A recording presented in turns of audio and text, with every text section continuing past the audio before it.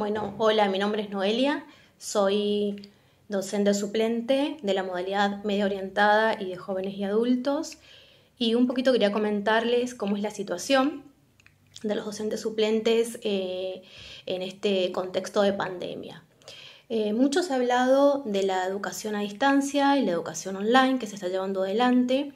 pero la verdad poco se ha visibilizado la crítica situación económica eh, que estamos atravesando los docentes suplentes. Eh, como sabemos, los ingresos de, estos docentes se, traducen en las horas cátedras que posee. Y debido a la, situación de pandemia, eh, los llamados a cubrir las horas cátedras están suspendidos y muy por el contrario se están dando de baja a las horas que los docentes poseen, lo que se traduce directamente en la pérdida de trabajo eh, y lo que ello implica los graves prejuicios que implican una economía familiar, en una economía, en sostenimiento una economía familiar y personal.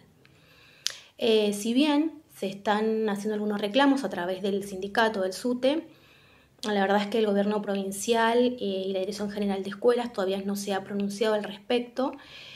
y esperamos que tomen las medidas y las acciones eh, pertinentes eh, para garantizar y amparar el trabajo de este sector de trabajadores de la educación que somos los docentes suplentes.